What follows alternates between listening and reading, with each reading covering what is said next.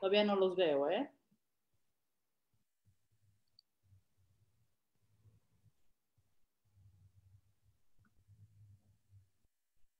Ya.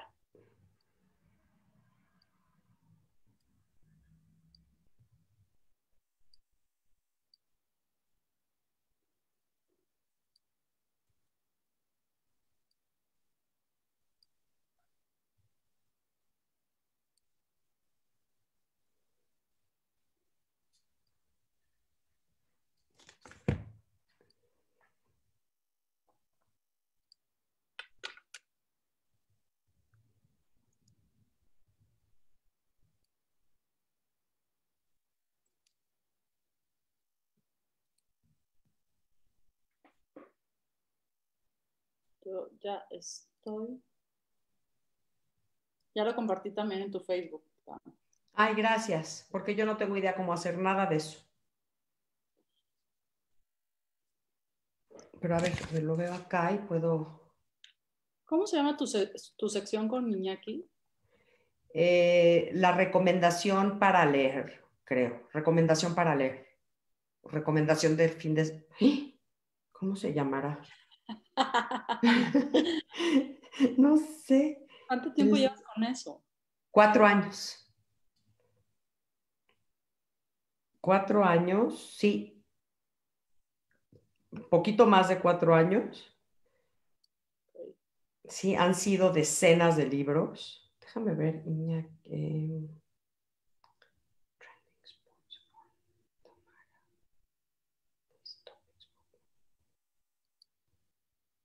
Listo, ya estamos en vivo. Hola amigas y amigos del Centro Deportivo Israelita, el Depor en tu casa. Ya nos extrañaba muchísimo. Qué bueno que nos empiezan a acompañar. Ahí vemos en el Facebook cómo están añadiendo las personas a este streaming con la doctora Tamara Trotner, a quien adoro, admiro.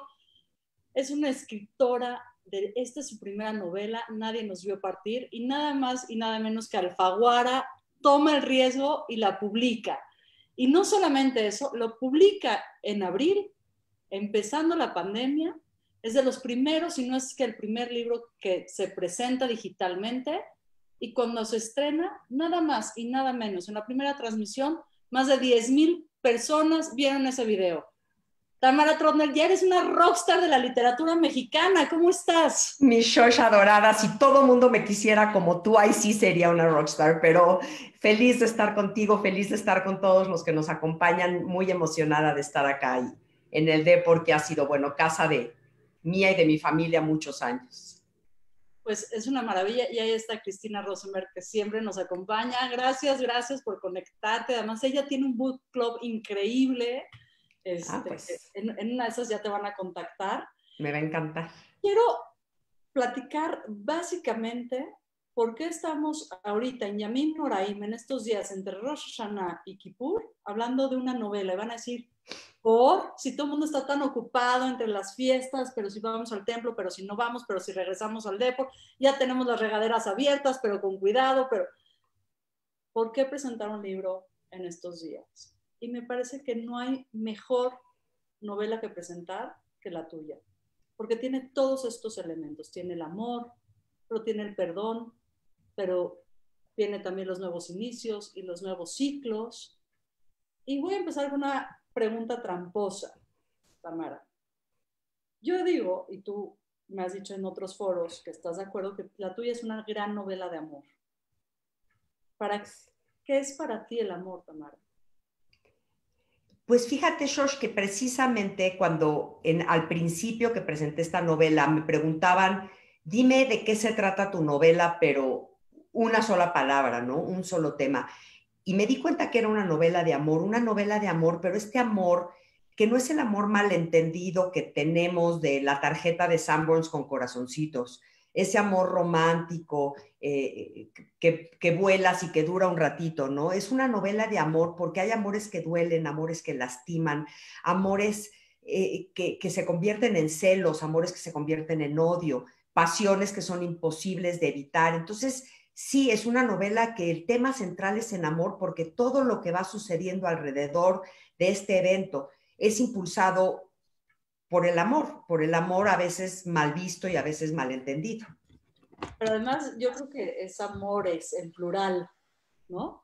Claro. Porque hay distintos amores. Veo el amor de un padre a sus hijos, veo el amor de una madre a sus hijos, pero también el amor a lo que significa un nombre, a lo que significa un apellido y a lo que significa la posibilidad.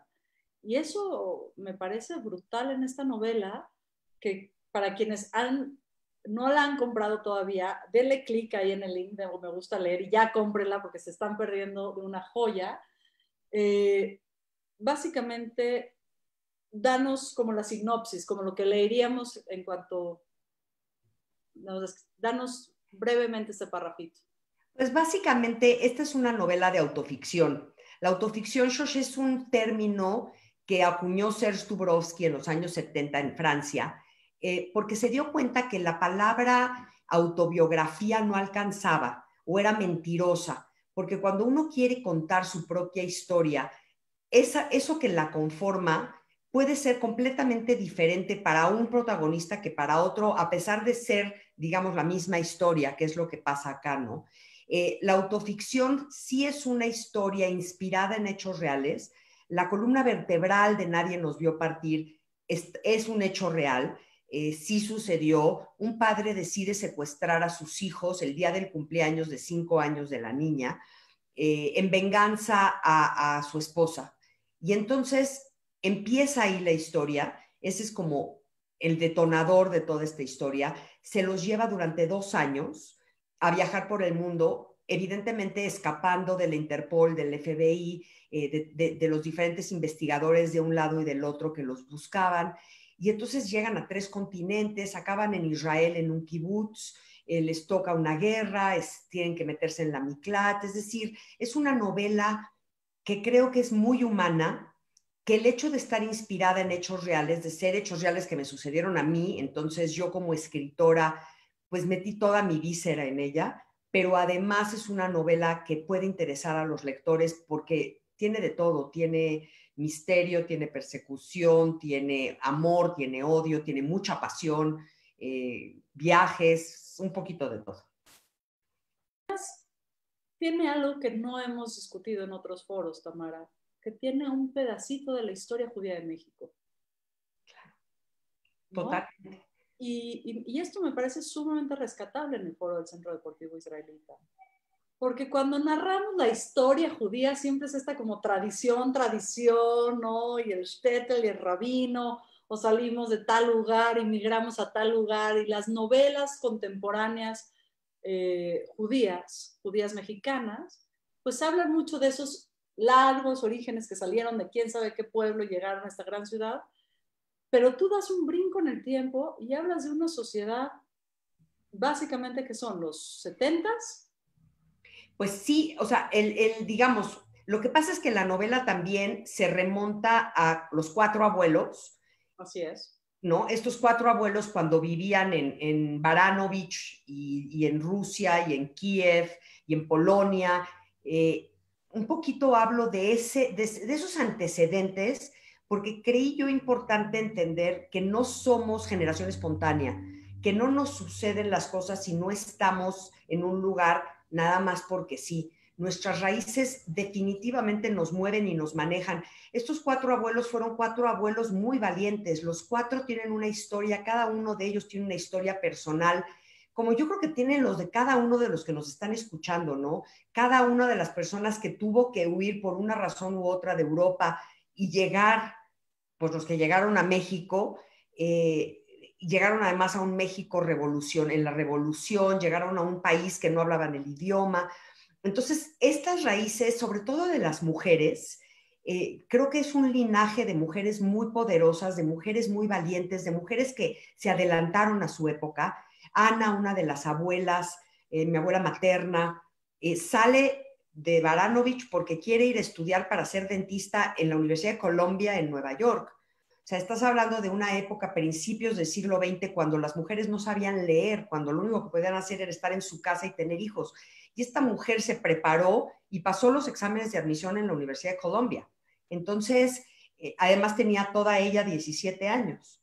Entonces, es muy interesante porque esa mujer, que es mi abuela, pero es la madre de Valeria, y entonces sí creo que vamos entendiendo como el linaje, que yo creo que sí se hereda, se aprende, se mama, eh, eh, una madre nos hace que, vayamos en una dirección u otra.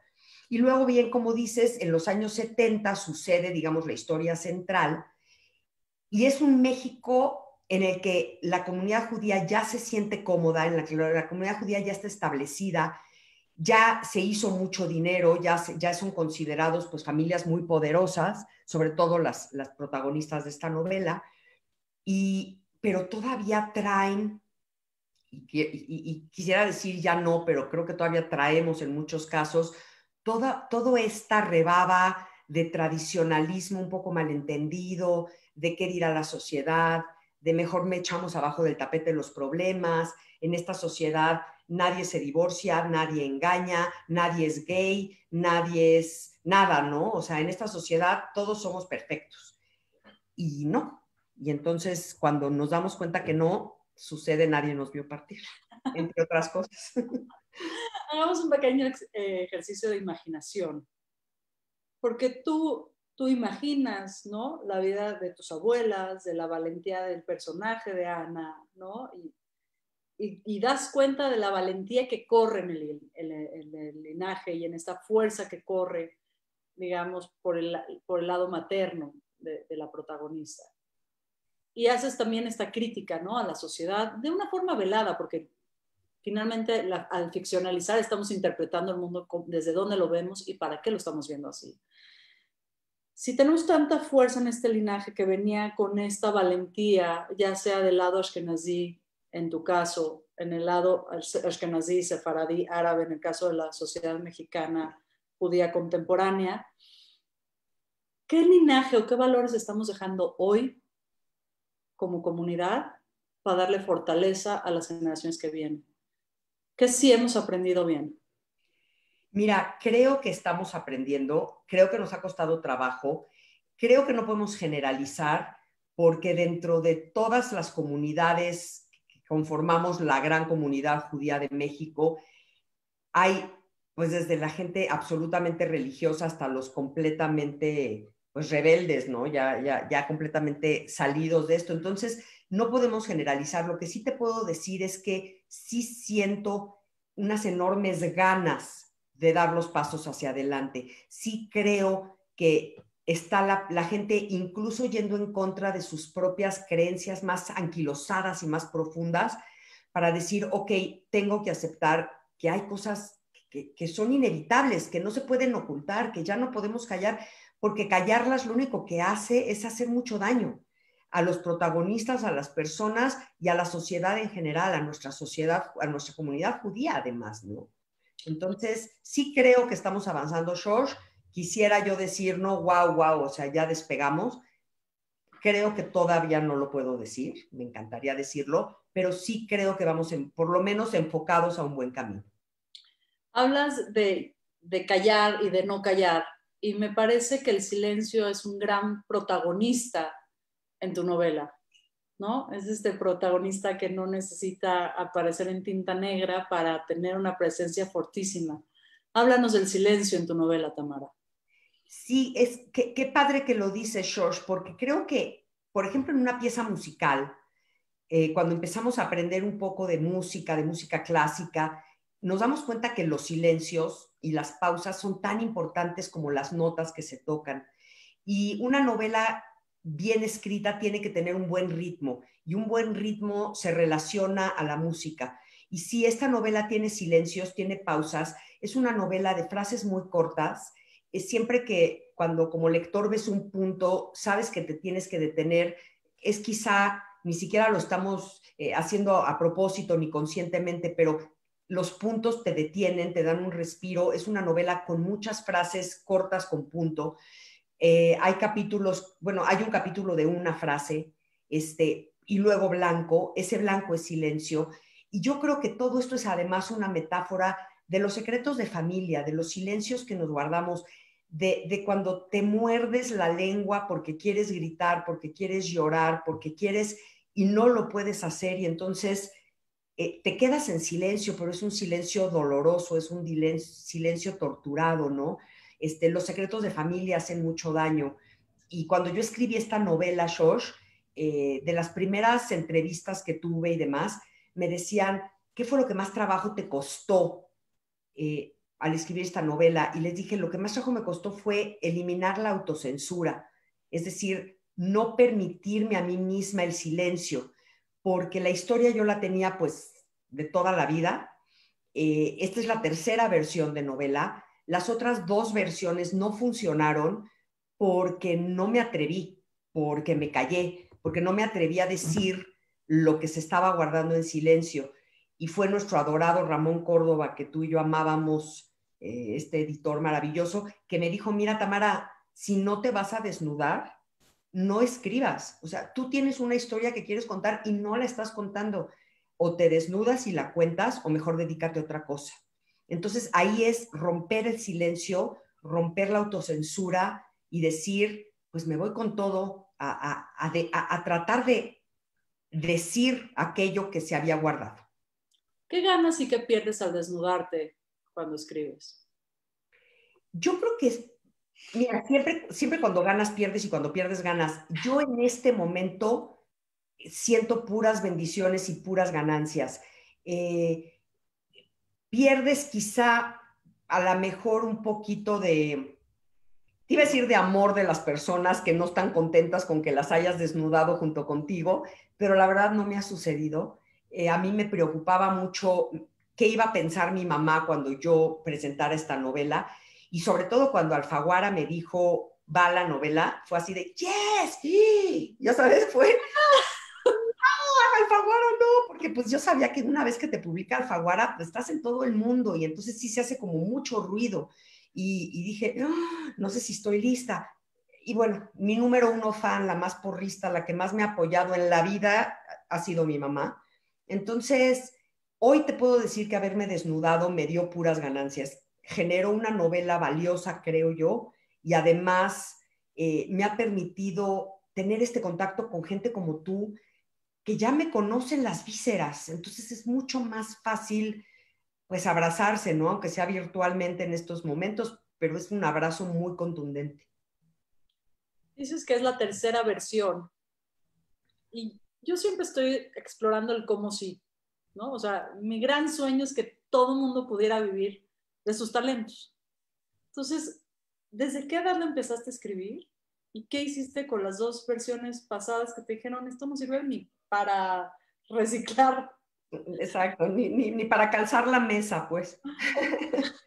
este, mira, yo creo que le empecé a escribir shows conforme iba sucediendo. O sea, hoy me doy cuenta que esta historia yo la iba almacenando en alguna cajoncito que tenemos los escritores, tú que eres escritora me entiendes, eh, todo lo que nos va sucediendo a quienes somos escritores no sucede ya, sucede y lo metemos en un cajón porque puede ser usado en futuro para algún texto, para algún poema, para algún cuento.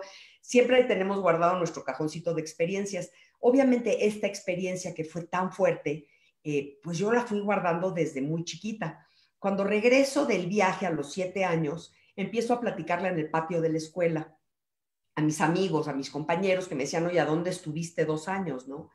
Este, y entonces yo empezaba a platicar y entonces y el secuestro y me llevaron y entonces África y los ojos de mis compañeros se abrían de este tamaño y entonces en el kibutz y se abrían más grandes y, y me empecé a dar cuenta, Shosh, uno del poder que tenemos los que contamos historias, este poder de conquistar, de embelezar, de entretener, de, empatizar con nuestros escuchas o, aquellos que nos están, nuestros lectores, eh, es, es, precioso. O sea, yo no hablo del el poder como poderoso, ¿no? Sino la fuerza maravillosa que hay en las palabras.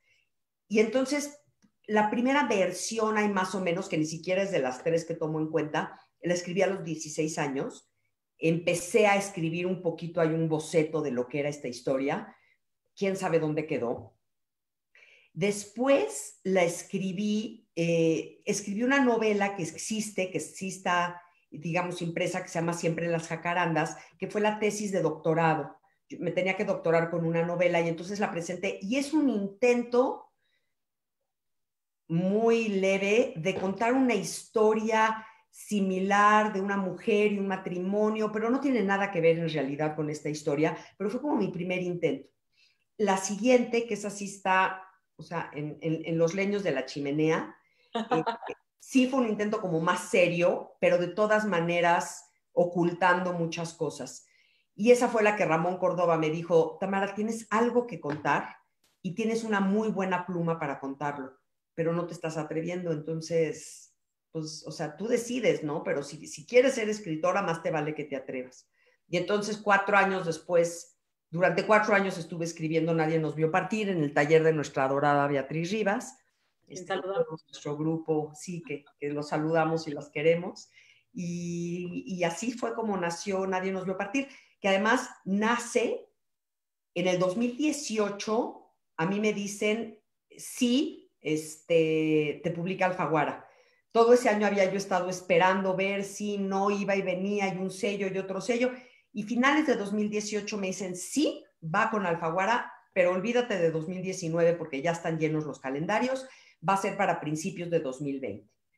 Y dije, va, si es Alfaguara, me aguanto un año más. Entonces ya llevaba un año esperando, me eché todo el 2019 esperando, y cuando ya me dicen que va a salir en abril de 2020 y yo ya pego de brincos, llega nuestro querido Coco. Y entonces sí fue así como, no, no, me, no, no es cierto, o sea, ¿qué onda? Pero bueno, así le tocó nacer. Bueno, pues es que si es una historia extraordinaria, pues tendría que tener un comienzo de vida pública también extraordinario, ¿no? Cuando, cuando comentas esto de, de guardar los manuscritos en la leña del fuego, pienso un poco en Salman Rushdie, que en una masterclass él dice, es que los escritores son unos sinvergüenzas, porque pueden equivocarse una y una y otra vez y otra vez y otra vez y ocultar todos sus errores antes de, de publicar. Claro. Dime una cosa, hay, otra, hay otras estampas eh, que me gustan mucho de esta novela, que son las estampas de la comida. Parece que tú vivieras con un, así, me imagino el pitufo cocinero junto a ti. siempre cocinando y siempre preparando unas delicias y que eso lo he notado en varias novelas de escritoras judeo-mexicanas, porque me ha tocado leerlas como a todas y de golpe en esta pandemia y en todas las novelas hay una receta, una galleta, una comida, un detalle, pero en la tuya es un viaje gastronómico uno por los espacios que recorres y también en los tiempos. Claro. ¿Sabes Tú sabes que soy una tragona, me conoces. Entonces, me fascina comer. Y entonces la mi vida en general gira mucho alrededor de el, chocolate de la tarde, el dulcecito de la mañana, el que me voy a comer ahorita. Entonces, sí adoro la comida. Yo siento que, que la pasión por la comida es, es, similar o es igual a la pasión por el amor. Eh, son estas pasiones que son pues hedonistas y maravillosas, ¿no? Entonces, y, y, como judía, tenemos esto donde las grandes conversaciones, los grandes secretos, eh, las grandes decisiones se toman siempre alrededor de una mesa. Yo iba a casa de, de, mis abuelos tres o cuatro veces a la semana, nos sentábamos en la tarde, tomábamos el vaso de té, Garibaldis o, o, o, o cosas que hacía mi abuela maravillosas, y alrededor de la comida era como se empezaba a platicar. Yo me acuerdo muy chiquita estar en la mesa y que de repente dijera alguien algo, alguna frase y que todos dijeran, Shh", ¿no? Entonces yo decía, a ver, entonces sí se me paraban las orejas de este tamaño y decía, ahí hay algo interesante.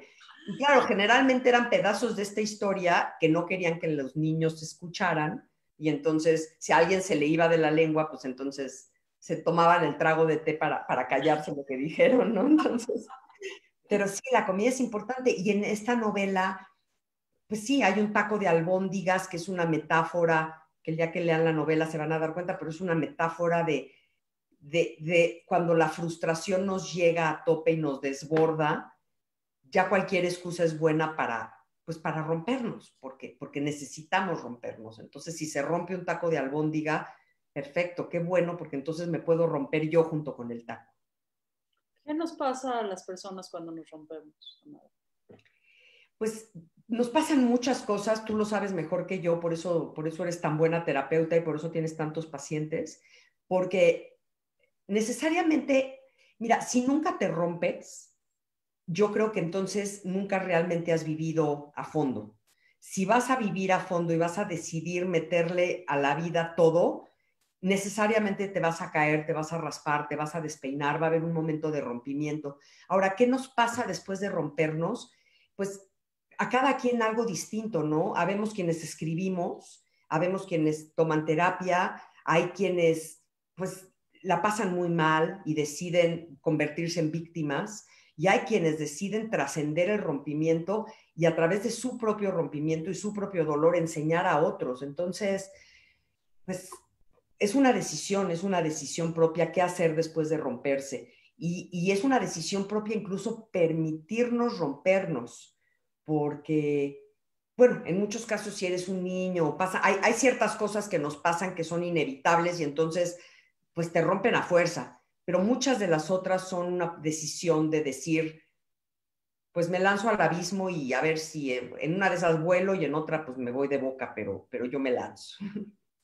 Pero hay que hacer el intento, ¿no? Yo siempre digo, vamos a fallar y va a ser un relajo, pero pues hay que intentarlo, no tenemos otra opción, no tenemos otra alternativa. Y, los personajes de esta novela nos los enseñan muy claramente, ¿no? Todos ellos, de un modo u otro, son personajes que decidieron meterle el acelerador a fondo y, y tomar decisiones que revolcaron a muchos, que lastimaron a otros, que despeinaron a todos, pero que finalmente fueron decisiones de vida que ellos tomaron y, y acataron las consecuencias. ¿Qué es la libertad de elegir para ti?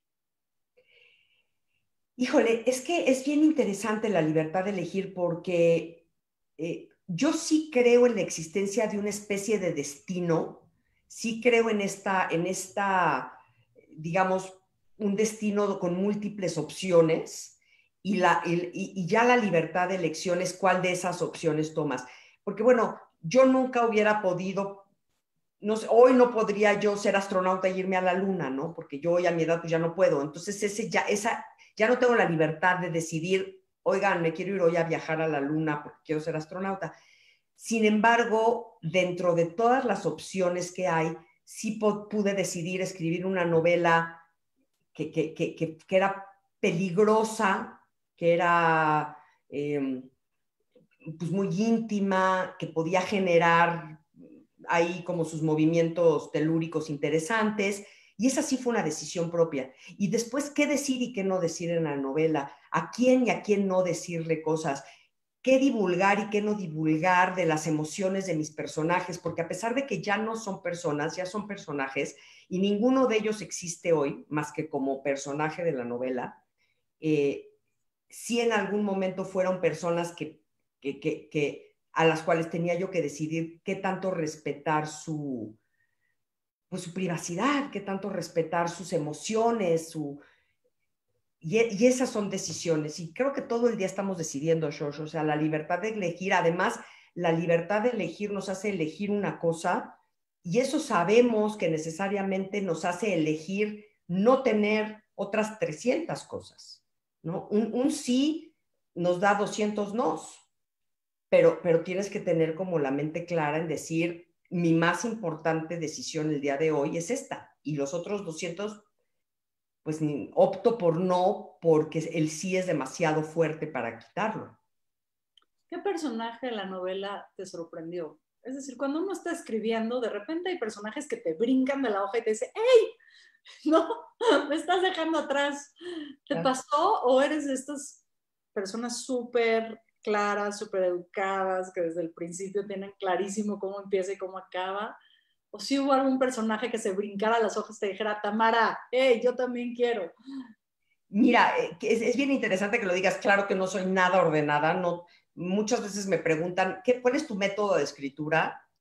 Cuando puedo, en el momento que puedo y cuando me doy el tiempo, me siento en la computadora y si no, en, o sea, tenía yo literalmente cubiertas de chicle que en el coche, porque no encontraba mi libreta, escribía yo frasecitas en la cubierta del chicle para después venir a ponerlas en la computadora.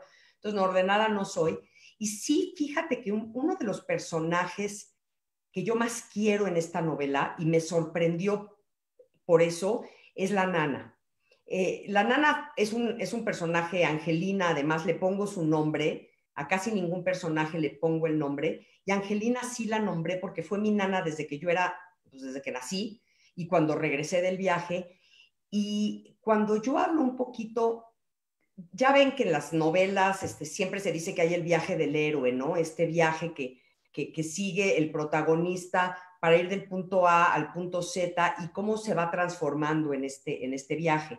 Eh, que digo, pues todo, todo esto empieza con la Odisea, digamos, es esta, eh, la base de, de, este viaje del héroe. Y el viaje, el héroe siempre va acompañado por alguien que es el que como que lo va empujando a seguir una cierta línea para que sí llegue finalmente al punto al que debe de llegar. Y en esta novela sin, saberlo antes, es la nana. Y es la nana la que de repente le dice, hey, ojo, acuérdate que tu papá no se ha muerto. Hey, eh, acuérdate que tal. Eh, no quiero decir demasiadas de las cosas que dice la nana para no echárselas a perder si no la han leído, pero cuando cerré la novela, de mis personajes entrañables que se me quedaron, era la nana, Angelina Mina. Qué maravilla, ¿no? Son estos personajes que parecieran secundarios, pero que realmente están tirando. Tú cuentas mucho cómo tu madre es tu gran porrista y, la dificultad de decirle, oye, la voy a publicar y no nada más la voy a publicar, la voy a publicar Faguara. ¿Tu padre se enteró de la publicación de la novela? Sí, fíjate que la novela en realidad existe gracias a que regresó a mi vida mi padre. Es decir, yo tenía por eso yo tenía todas estas versiones escritas antes y que eran versiones que no servían porque yo no tenía el punto de vista de mi padre. Entonces, después de 30 años de no verlo, cuando decido buscarlo y encontrarme con él, y esta historia aparece en la novela, y le digo, es que no puedo creer, uno, que nos hayas secuestrado, y dos, que después nos hayas dejado de ver 30 años. Yo en ese momento ya tenía tres hijos y yo dije, es que a mí me tendrían que matar para dejar de ver a mis tres hijos. Y él me dijo, ¿quieres que te cuente por qué? Va, te cuento. Y a lo largo de muchos años en comidas, él no vivía en México, pero en comidas, mucho por correo electrónico, me fue platicando su versión de la historia. Y cuando conozco esta versión y me doy cuenta que a pesar de ser diametralmente opuesta a la que yo conocía, sin embargo era igual de verdadera, y que las razones de uno eran tan válidas como las razones de otro y que las dos verdades eran completamente verdaderas, en ese instante me doy cuenta que tengo una novela, que tengo una novela que no va a ser maniquea, que no va a ser blanco y negro, que no van a haber buenos y malos, que voy a permitir que el lector tome partido y tome partido a veces por unos y a veces por otros y que quizá, eso, esa es mi esperanza, termine entendiéndolos a todos, ¿no? Entonces, eh, sí, ese es, ese es como, como lo que pues me impulsa, me impulsa a, escribirla, el, hecho de haber conocido a mi papá. Mi papá se entera que yo la estoy escribiendo, además yo le dije, la voy a escribir y, y él todavía me dijo, sabes que yo estoy escribiendo mi versión, te mando cosas y entonces casi toda la historia de mis abuelos paternos, a quienes no conocí básicamente, es una historia que escribió mi papá él la escribió, él me la mandó y yo le dije, oye, ¿puedo usarla para mi novela? Y me dijo, sí, sí. Entonces, claro, yo la puse con mi propio lenguaje, pero era su historia.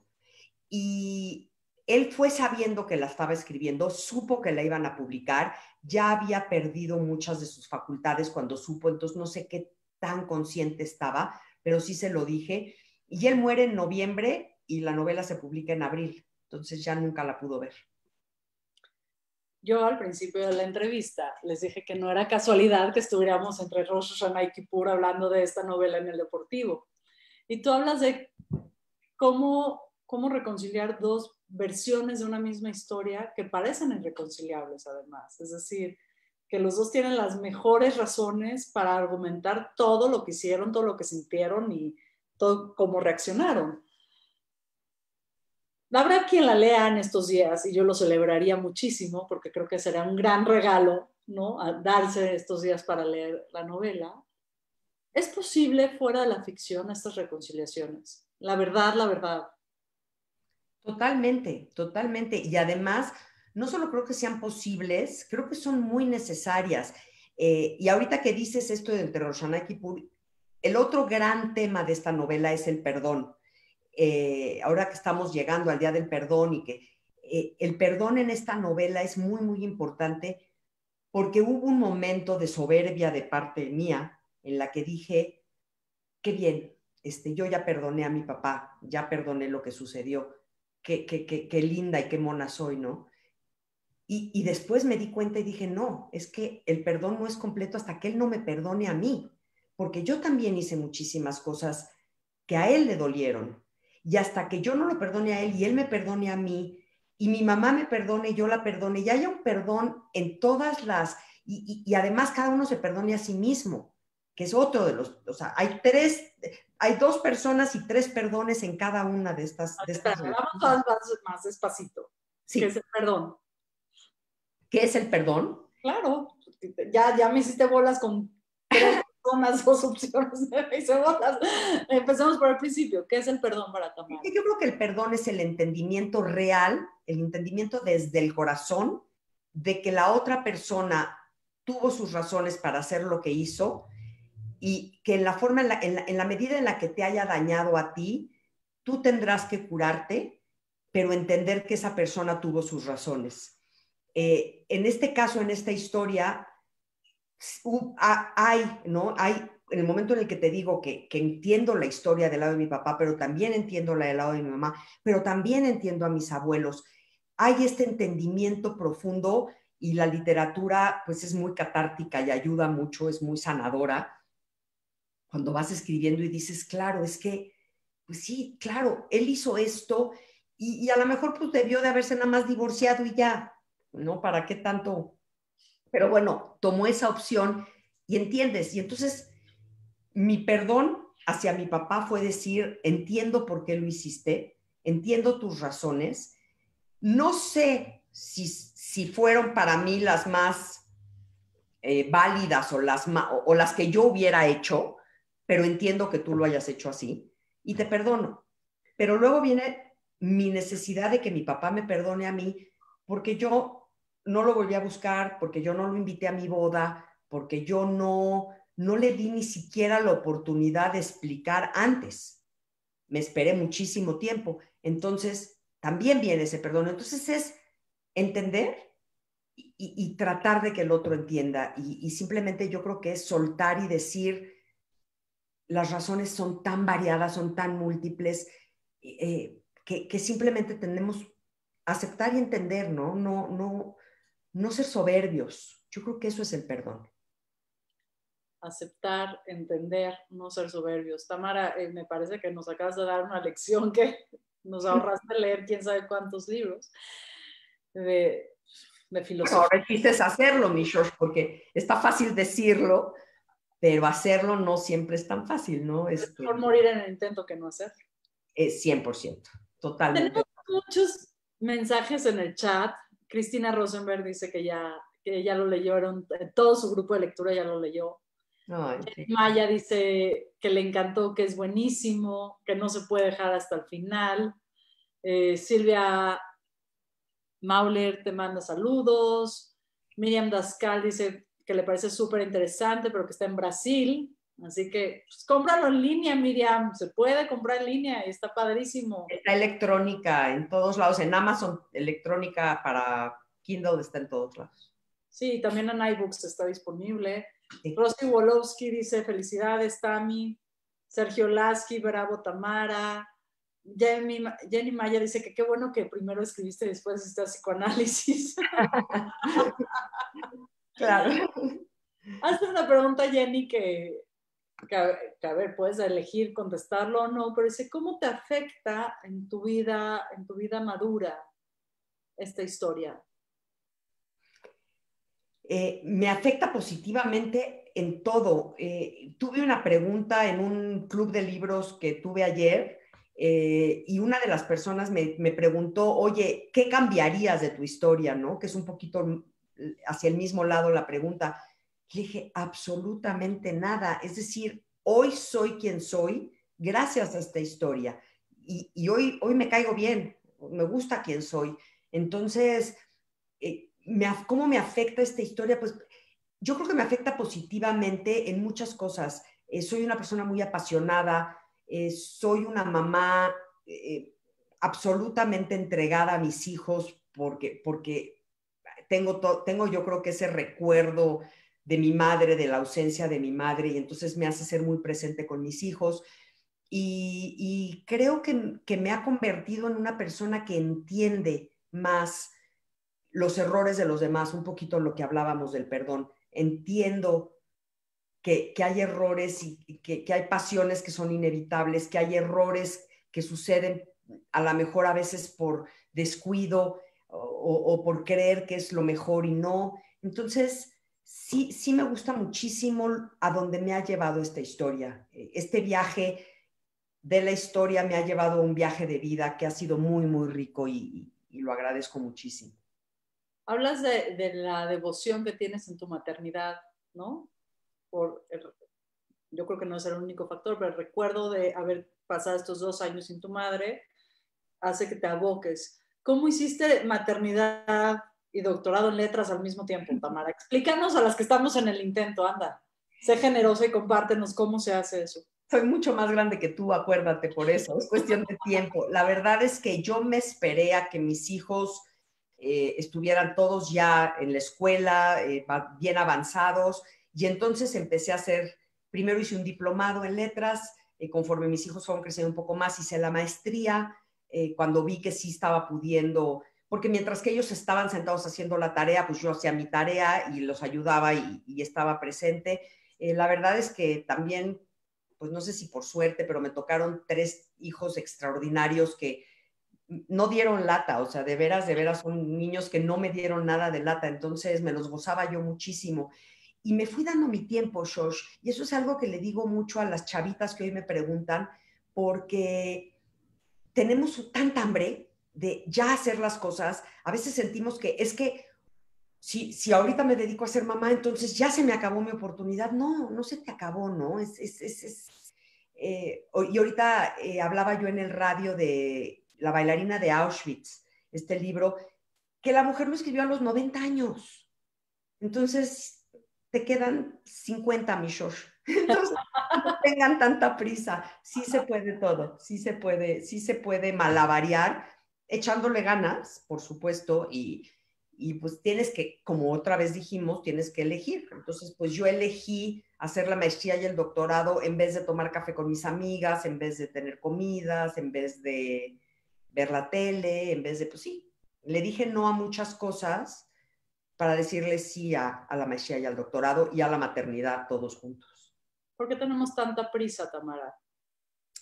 Mira, está ahí eh, es un mundo de prisa, Shosh, es un mundo, yo creo que la inmediatez del celular, eh, este hecho de, y ahorita con, con, el COVID todavía más porque, por un lado, nos dicen, híjole, eres mortal y además tu muerte es inminente y además no sabes cuándo. Siempre lo hemos sabido, ¿no? Lo tenemos así como en la cabeza, pues sabemos que somos seres que nos vamos a morir, pero de pronto se te presenta esta pandemia y dices, wow, o sea, puede pasar en cualquier momento, mi muerte o la de mis seres queridos o la de alguien cercano. Entonces, eso yo creo que nos acelera la prisa por vivir.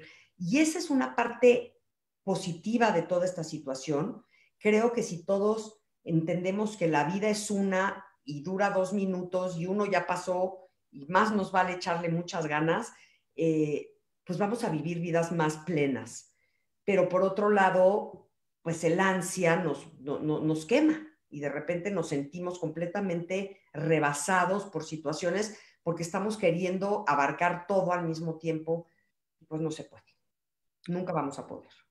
Yo digo que las novelas son como hijos porque hay que curarlas, hay que acompañarlas, hay que parirlas y hay que presentarlas en sociedad, ¿no? Y, consumen un montón, ¿no? del ser, del escribir, del oficio, etcétera pero también como los hijos de repente te presentan unas satisfacciones que te tiran de espaldas y dices, ah, ok, también para eso invertí.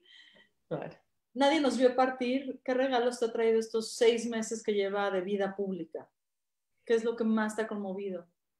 ha sido divino, ha sido preciosísimo porque he recibido una retroalimentación de muchísimas personas que me buscan en redes, que me buscan de un modo u otro, que me encuentran quién sabe cómo y me dicen, es que tu novela me cambió la vida. Hace tres o cuatro días un señor me escribió y me dijo, Tamara, eh, leí tu novela, fui a pedirle perdón a mi papá, nos reconciliamos y dos semanas después mi papá murió.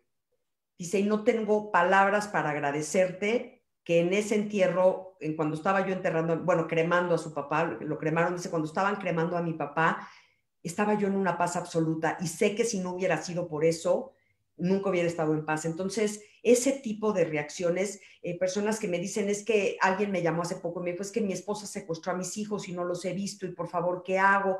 Y, mi, posibilidad de decirle, mira, yo no soy terapeuta, yo no te puedo ayudar en eso, lo que sí te puedo decir es, como hija, siempre quise volver a ver a mi papá, siempre lo quise volver a encontrar. Y como hija nunca le creí a mi papá que mi mamá no me quería. Entonces, hay algo más allá en cada uno de los personajes y, ha sido precioso. El contacto con la gente ha sido lo más lindo porque he tenido 75 entrevistas. Ha sido precioso también estar en todos los medios. El COVID, por un lado, me detuvo no poder tener mi presentación presencial y todo eso que uno quiere, ¿no? El contacto con el público. Pero ha sido también posible tener en un mismo día una entrevista en Cancún y una en Monterrey y tres en México y un book club y todo sentada aquí en, descalza además. Entonces, entonces, sí, la satisfacción ha sido increíble, sobre todo de eh, lo que la gente me dice que le ha movido y que le ha cambiado y que le ha ayudado. Yo creo que todos los escritores, Shosh, sabemos que estamos escribiendo como una catarsis personal y como una necesidad personal. Los escritores necesitamos escribir, si no, no lo haríamos porque es una chamba fuerte, solitaria, exigente, celosa, o sea, es una chamba que no es así como enchilame otra, pero cuando recibes esta retroalimentación de personas que gracias a tu novela hoy son mejores, híjole, pues ya valió la pena todo, ¿no? Que decía Beatriz Rivas, nuestra querida maestra, la voy a parafrasear y por favor si me equivoco, Beatriz, perdóname, pero en uno de los talleres decía, es que habría que quemar toda la sección de autoayuda y que la gente se pusiera a leer literatura de verdad para que pudiera hacer esos procesos de transformación sin tanta parafernalia, me parece que tu novela es eso, es una puertita que se convierte en el portón de un gran palacio que está construido en, en el pilar del amor y de los amores, como lo decía yo al principio, en el pilar del silencio sí, hay un, hay un silencio que carcome, pero también hay un silencio que tiene una musicalidad y que habla y que se hace presente y que incluso cobija, ¿no? Claro. El pilar de los alimentos y cómo nutrir el cuerpo es también nutrir el alma. Y en el pilar de la complicidad, porque yo creo que esta novela es una gran complicidad entre la Tamara de 16 años que dijo, pues yo lo voy a escribir porque pues en el patio de la escuela ya me escuchan, ¿no? Y la Tamara, que fue mamá de niños chiquitos, y la Tamara que dijo, bueno, voy a hacer una maestría de letras, quién sabe para dónde me, ¿no? Claro. Y esas complicidades en los diferentes este, escenarios de tu vida me parece que también es un pilar que ahí está presente y que lo ofreces con mucha generosidad a quien te lee porque no te desnudas en un momento y en un lugar, como decía Ramón, desnudas básicamente desde tu linaje hasta lo que opinas hoy del mundo y nos los pones en una charola de plata bellísima además, porque además ustedes no están para saberlo ni yo para contarlo, pero igual lo voy a hacer. Tamara es de las mejores anfitrionas de este país, de este continente, cocina delicioso y recibe todavía más bonito en su casa. Y eso es tu novela, ¿no? Creo que es esta estos cuatro pilares servidos en una charola de plata divina y hermosa. Y yo no, yo no lo estoy choreando porque también la gente que nos está escuchando en Facebook eh, lo está diciendo. Dice Guadalupe Bernal Calzada que es, debe ser una hermosa novela y que ya la va a comprar ahorita. Y Julieta Beskin dice que es la, la lectura que le toca el alma. Entonces, me parece que es un gran, gran viaje Tamara, se nos acaba el tiempo. Yo intento ser puntual con la gente del Depor porque luego me regañan que me paso. me gustaría que nos compartieras tus reflexiones, eh, iba a decir finales, pero no, más recientes de esta conversación, porque nuestra conversación dura y dura y dura. Así seguiremos platicando y platicando, mi Josh. Pues yo agradecidísima con todos los que están, mi Julie querida, gracias por estar y a todas las que están y a todos los que están. Eh, la verdad es que lo que me ha permitido esta novela es exactamente esto, estar con personas como ustedes, estar en contacto, poder decir desde el fondo de mi alma y, el hecho de que la novela a cada quien le resuene. Yo siempre digo, George, que los lectores son los coautores de una novela. Una novela no existe sin un lector y cada lector es coautor de esa novela. Yo sé que esta novela en ti es distinta que en Julie y es distinta que en Carolina y es distinta que en cada una de las personas que nos están escuchando. Y eso es lo que ha enriquecido mi novela. Mi novela puede tener 250 hojas, pero en realidad tiene miles y miles de lecturas de cada uno de los lectores. Entonces, pues me encanta que me busquen, me encanta, estoy en todas las redes sociales como Tamara Trotner, eh, me encanta contestar. Eh, ser parte de los book clubs ha sido así como algo que no conocía yo y es, bueno, me tiene apasionada, me he divertido muchísimo. Entonces, pues nada, agradecer, agradecer todo lo que ha sucedido en este año difícil para todos. Pues esta para mí ha sido una luz maravillosa. Y yo creo que es un cobijo de, de amor también para quienes te hemos leído en esta pandemia más de una vez ¿no? Yo, sí he como releído así como para que se sienta bonito, pero ¿cómo se siente bonito un secuestro? Sí, pero atrás del secuestro me parece que hay estas grandes historias de amores. Yo quiero agradecerte muchísimo este espacio, siempre la disponibilidad para conversar, es increíble. Yo te digo, Tamara, vamos a conversar en este foro. Claro que sí, ahí estoy. En los book clubs también, lo único que tienen que hacer es mandarte un mensaje, ¿cierto? En tus redes sociales, queremos conversar contigo, tan tan Así que no hay mayor trámite quienes nos están leyendo y quieran compartirlo con sus amistades y platicar en la intimidad de sus Zooms con Tamara, pueden hacerlo. Me encanta, estoy disponible siempre, siempre. O sea, y si se me cuatrapea con alguna otra cosa, pues les digo y organizamos, pero nada me hace más feliz que estar. Y si son tres personas, con esas tres estaré platicando feliz de la vida. Y también quiero agradecer muchísimo Alejandro, a Angie, a Carolina del Centro Deportivo Israelita, que no han quitado el dedo de renglón, que hacen posible estas transmisiones, el gran trabajo que está haciendo el CDI, la Casa de Todos, por abrir sus puertas de forma digital, por abrir las puertas físicamente y seguir abrazando a la comunidad y a las comunidades que integramos, la gran familia del Centro Deportivo Israelita también. Gracias, mi respeto mi cariño a todos y por favor si tienen comentarios, si les gustó esta entrevista, pues compártela, total, es un solo clic y lo vamos a ganar al algoritmo. Tamara, muchísimas gracias. Mi Shosha Dorada, te quiero, gracias a todos, Alejandro, Carolina, Angie, gracias y a todos los que están presentes, gracias. Pues eso es todo. Tamara Trotner, nadie nos ve a partir por Alfaguara. Yo soy Shoshana Turquía. Gracias al CDI, la casa de todos. Muy buenas tardes.